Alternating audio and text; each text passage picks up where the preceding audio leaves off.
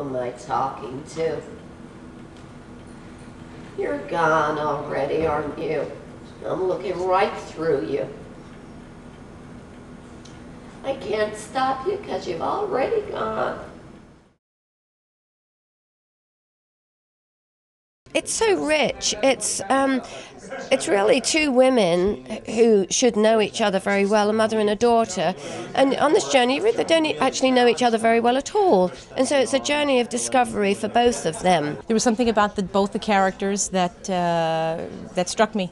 I also had seen the original production with Kathy Bates and Anne Pitoniak, and all I remembered was being completely uh, shaken by two women on stage. What's this all about, Jessie? About? What did I do? Nothing. Want a caramel? You're mad at me. Oh, not a bit. The world around the play is new, but the play is is itself. The play is the sort of still pool to look into and think about, you know, who we are and what it means to mm, to know the person that's across the room from us. Try it for two more weeks. We can have more talks like tonight. No, Mama.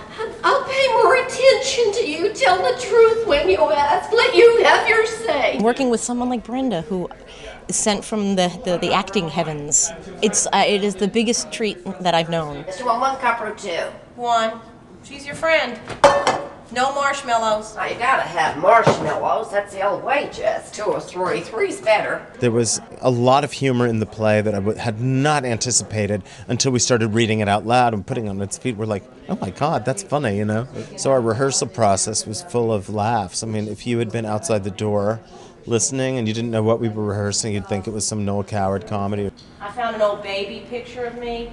It was somebody else, not me. It was somebody pink and fat who never heard of sick or lonely. You'd think it, with the emotional um, content of the play, it'd be so draining. We wanted to do two shows in a day, but we both like doing matinees, and we're always raring to do another one. It's a dramatic play, so uh, people tend to be more shaken by it than I am after a show. Leave me alone. That's the truth. I should have just left you a note. Yes!